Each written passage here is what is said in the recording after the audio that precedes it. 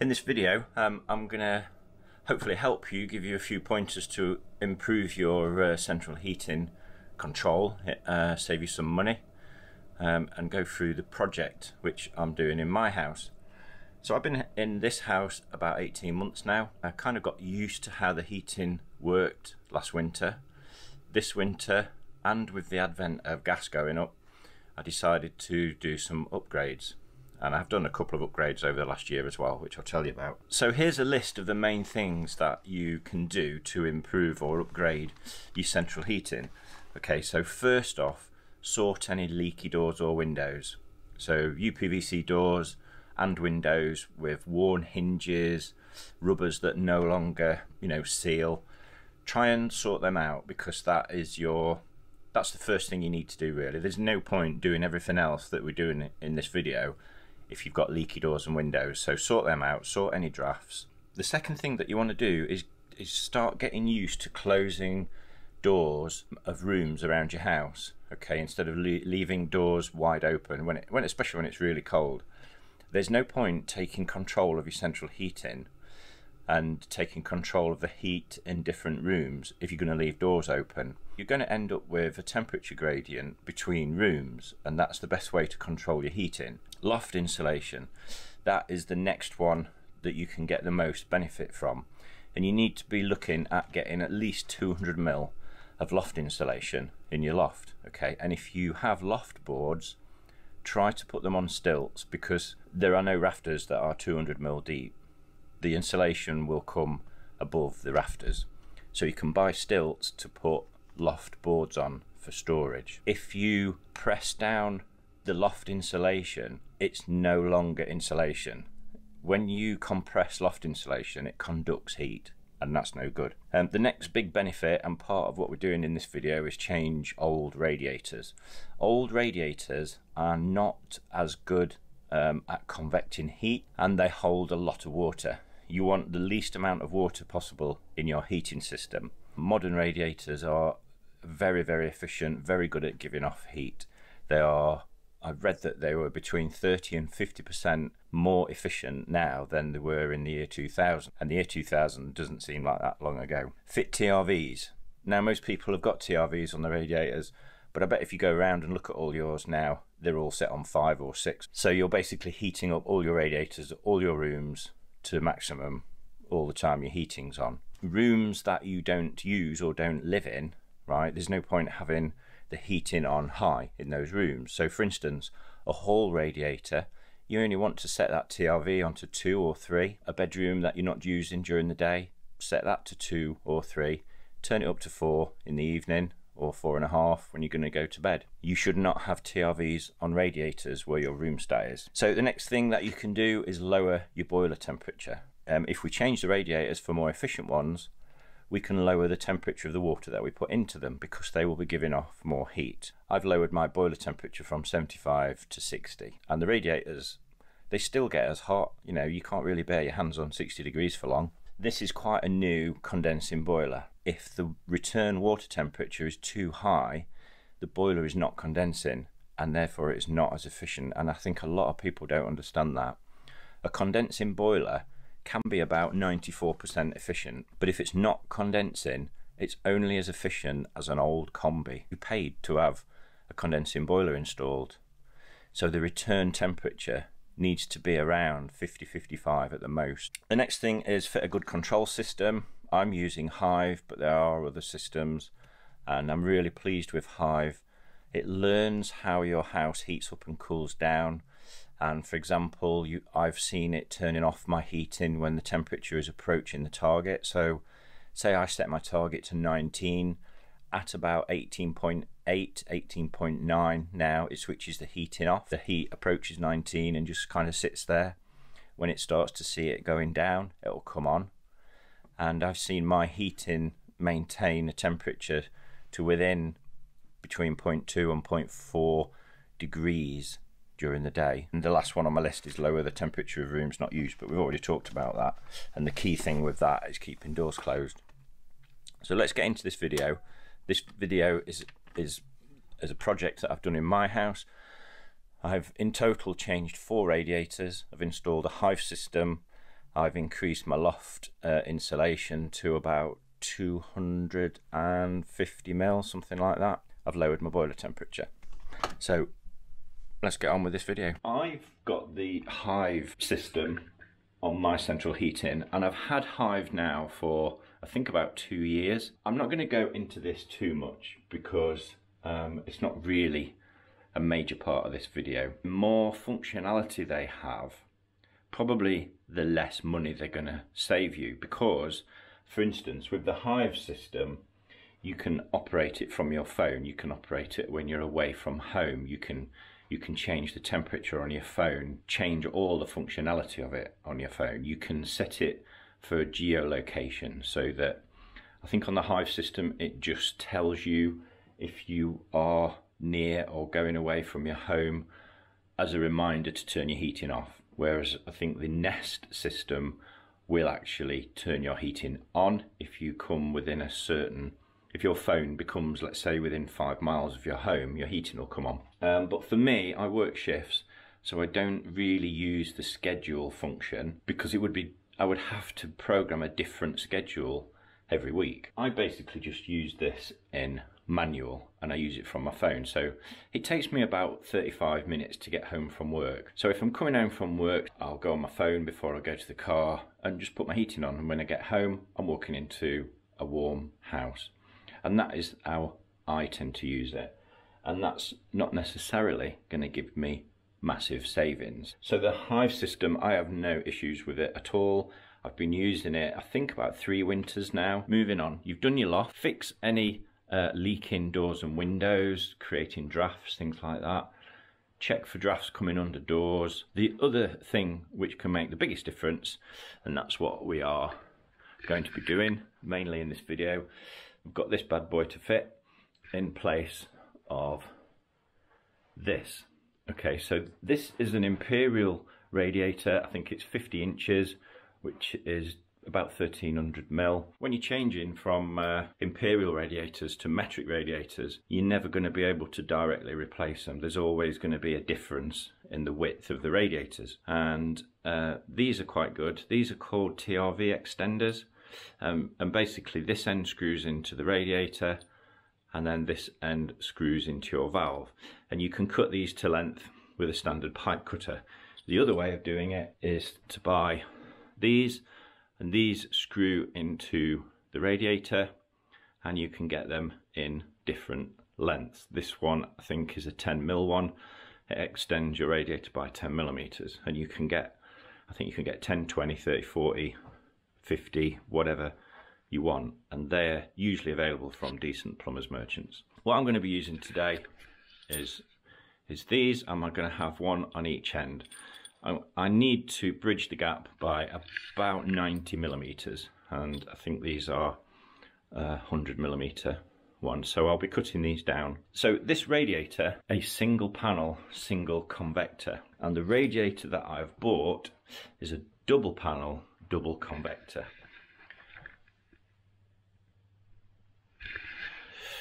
So there are four types of common, I say common radiator. They have different names depending on where you buy them from. So for instance, a type 11 from Wickes is uh, a single panel, single convector. That's probably the most common radiator and it's the slimmest radiator. Uh, the next one up is a type 21 and that is a double panel single convector. And again, that's the next most common radiator. They're generally fitted where you want a little bit more heat output than a single panel would give you.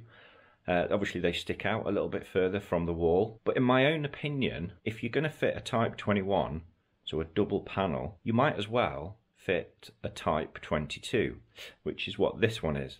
And it's double panel, double convector. Because in a Type 21 double panel single convector, the second panel, you're not getting the maximum heat out of that panel. You might as well get the radiator with the convector on the panel, which is all the wiggly fins on the inside.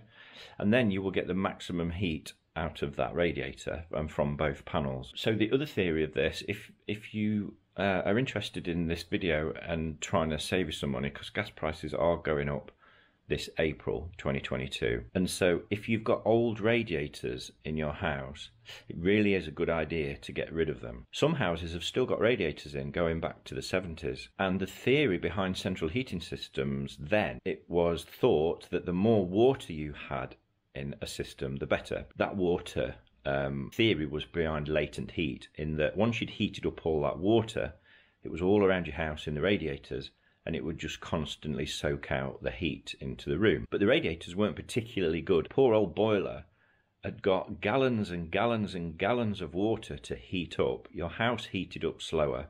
It wasn't that efficient, really. A modern system has got very little water in it, but the radiators are very good giving off the amount of heat that is in the water. Theory behind what I'm advising you to do in this video in if you're going to change your radiators, fit a bigger radiator. Fit the fit the biggest radiator you can. And that's why I'm changing four radiators currently in my house. Uh, the first one I'm going to do is this lounge one. I'm changing an old single panel, single convector for a double panel, double convector. And I've got three other radiators to change. Most of the other radiators in this house are quite modern. Now I've got a condensing boiler and currently, at the minute, the temperature of the boiler is running too hot.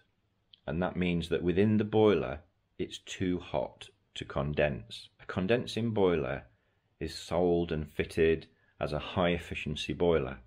And it is. It can be around about 94 95% efficient. If the boiler's not condensing, it isn't a high efficiency boiler. It is only efficient as a standard boiler which we've been have, fitting in houses for the past 40 years. The condensing part, the, the, the combustion gases generally go into, into another chamber within the boiler. That moisture that's in the exhaust gas is condensed out and the heat taken away from it onto a coil that your central heating water is going through. If that water is too hot, the water will not condense onto it. It will just continue out with the flue gas. If your house has been correctly sized with radiators throughout it, the water in those radiators will need to be about 70 degrees and the return temperature is still going to be probably too hot for the boiler to condense. In fitting larger radiators, you are getting more heat from them.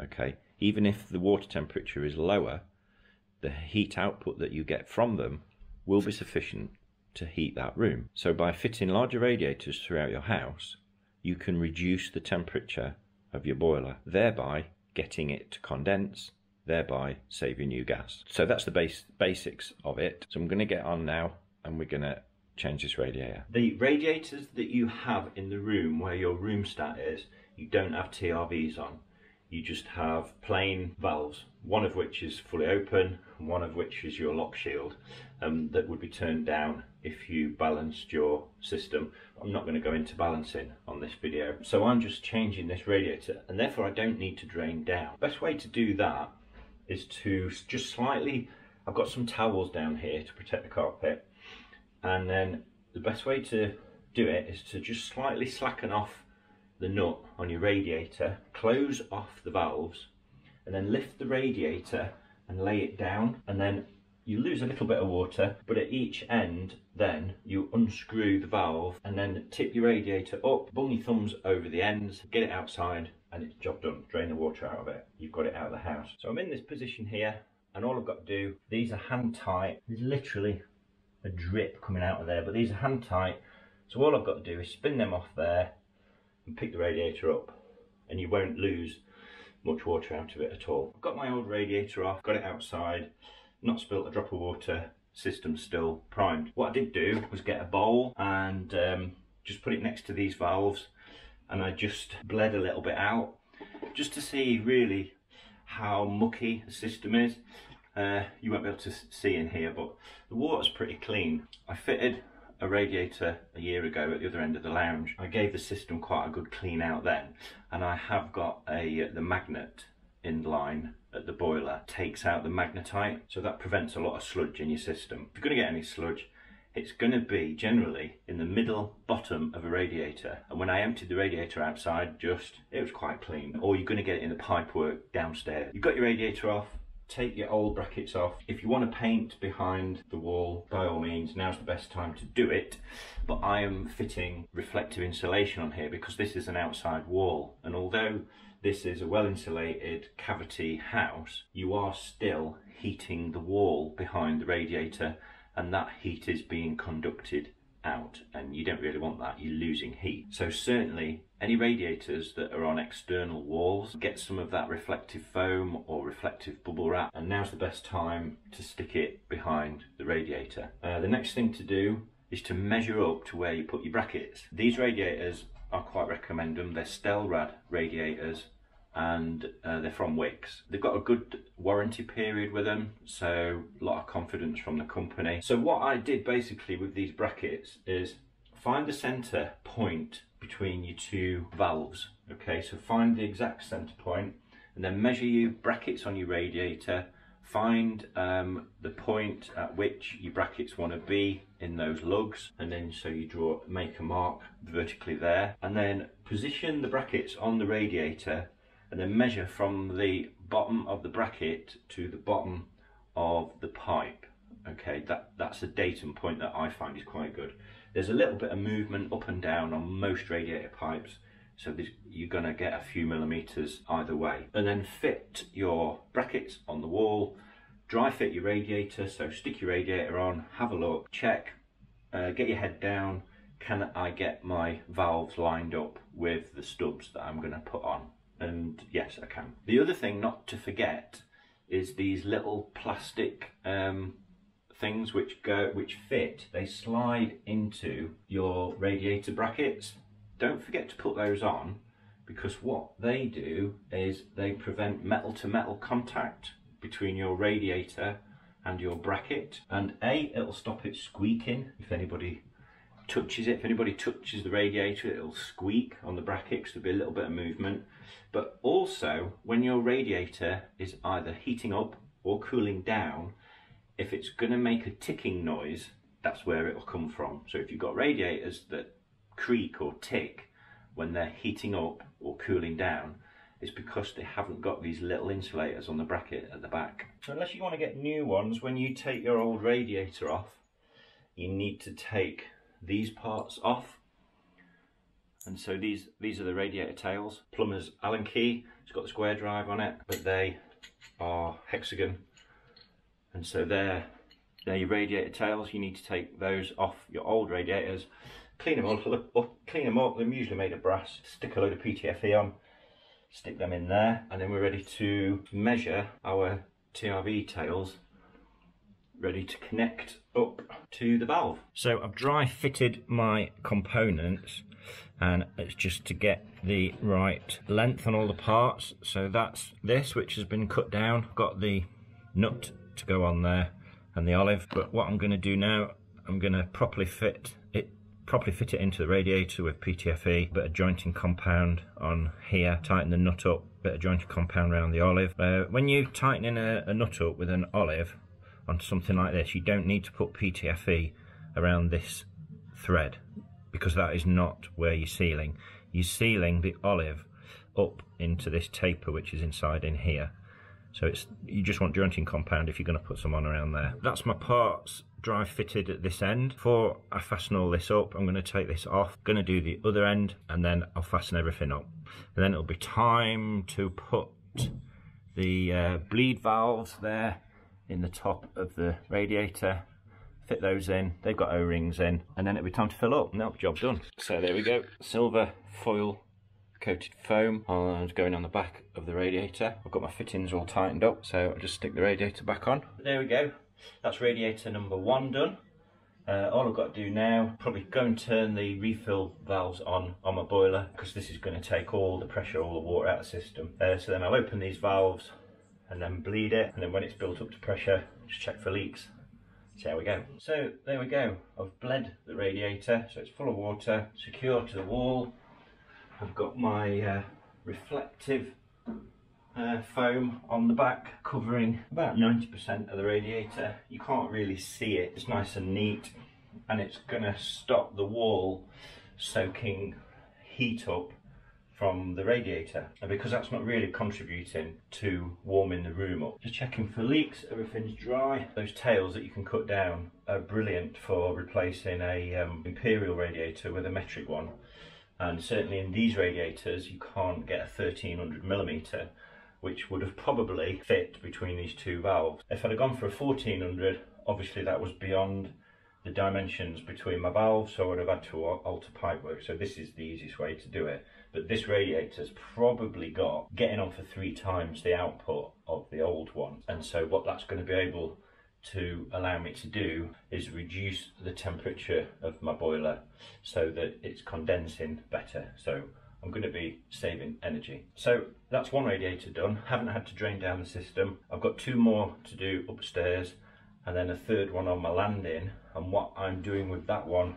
is I'm replacing the same width radiator, it's a metric radiator, but I'm going for 200 millimeters taller and again for the same reason. Ultimately I'm going to fit uh, the Hive TRV in the bedroom because another energy saving tip is that a lot of people fit uh, TRVs, don't really know what number to set them at but what you should be doing is looking at kind of sensing or knowing what the room temperature is and adjusting the TRV to suit. Although don't forget, you don't have TRVs in the same room as the room thermostat. It has to have the full output of the radiator. So that's done that for now. We'll get on with the other radiators. This is uh, the second radiator that I'm looking at changing and there are two of these, one in each bedroom. This is an Imperial radiator. So what I'm going to do, I'm going to get some radiator tail extensions to screw into the new radiator and it's just basically going to fill the gap. Uh, basically what so what you need to do is measure the gap in metric between your radiator valves and see what the difference is to your new one okay and you can either divide it by two or just get a radiator tail extension to cover that gap and put it at one end. Okay, so I've drained the whole system down. I've removed the old radiator from this position. And what I've done is I've marked the brackets, fixed them in place, and then I always put the screws in the slots so that you can move the bracket up and down a little bit um, because you just need to get the entry level correct for the valves which I've done there. So what I'm doing now I'm just dry fitting the radiator. So I've got the other end correct and then what I've got is these extension pieces. Uh, I think these are called TRV extensions. You get an olive and a nut and we're going to be looking at that that basically can fit anywhere along there once you tighten the nut up to the valve obviously it'll seal the olive. But what we need to do first of all is decide how long this is going to be because you can cut these down. So my height is correct for the radiator and the valve, so that height is correct. Um, I've got the other end dry fitted, so what I need to do now is fit that in there. Again, this is just dry fitting to make sure everything's in the right position. So that on there is looking like it's about 10 millimeters too long. I've already tested it into the valve so I know that it goes up to that shoulder there. So what I'm going to do, I'll put a little mark on there with a hacksaw and then we'll take it out and I'll cut that down and then we can assemble everything with PTFE tape and get the olive on and fit everything. You will notice that I am putting the TRV valve on on this position and the TRV head is going to be fitting on that way. Personally, I think it's a better position to fit a TRV because you want this to be measuring the temperature in the room. I know that they say a lot of them uh, ignore the temperature of the radiator when it's like that but it, it is next to a heat source and you've also got heat coming from your valve from these parts so all the metal parts that are here are basically heat is going to rise from all these metal parts and radiate out a little bit from this side of the radiator. And I think it's just much better to fit them like that. And then you are getting a better sense of the air temperature in the room.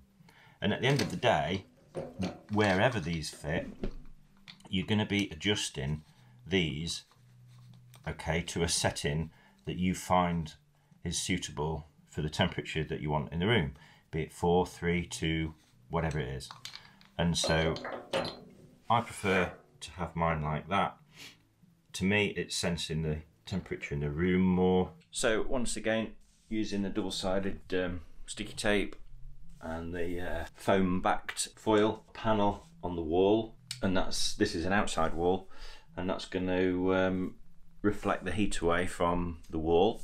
It's going to stop the wall soaking up some of the heat from the radiator and it's going to reflect it back and basically you just get a little bit more convection from your radiator.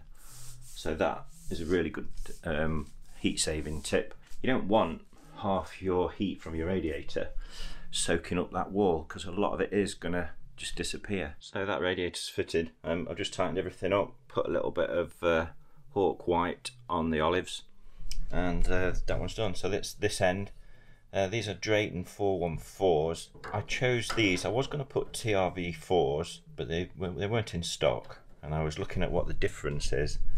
Um, and basically the 414s are more or less the same. This valve's actually got a flow regulator in it. Instead of using the lock shield for balancing the radiators, you can actually use this valve and a tool like this. So there's a this tool you actually slacken off part of the valve in here and then you turn the center part of the valve with this and there's numbers on here from 1 to 6 use the four pronged key. You undo the um, grey ring which is like a locking ring a quarter of a turn apparently no more. And then you use the two pronged key to alter the black part of the valve in the center they're difficult to see but on there are numbers from 1 to 6 you only turn this clockwise so you can carry on going round and round. But when you're balancing the radiators, you can use that. And then when you've got the, this in the right position, 1 to 6, on the black part of the valve, you then turn this round and the grey part that you undid quarter turn, you just tighten that up and put that back on. Cold radiators in your house that's not getting flow to them, you need to restrict the flow to radiators that are nearer the boiler, nearer the pump. And you can do that with these valves. So this is the Drayton 414 that's finished really. I dry fitted the radiator. Um, everything was in position, everything was okay. I've put my foil on the back. So then I put a little bit of hawk white on the um, around the olive basically. You want it on, that's where it seals.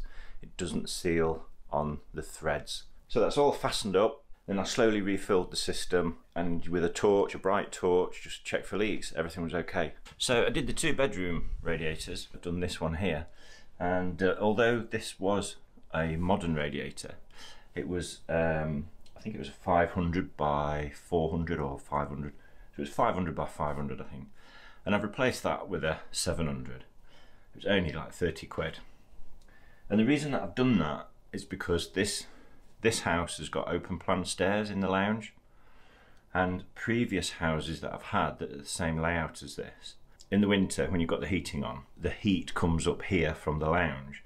You end up with like a layer then of cold air that drops down the stairs. And what I've found in this house, with this radiator at the top of the stairs, you don't get that cold air dropping down the stairs.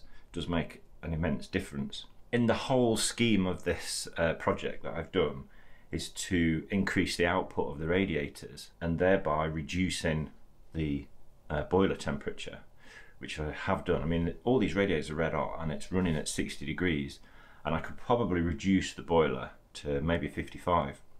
So certainly the the uh, return temperature, um, the boiler should be condensing. That's probably a little bit of a long-winded, long-winded video, um, and I, I didn't include all the plumbing work that I did because it would have been even longer.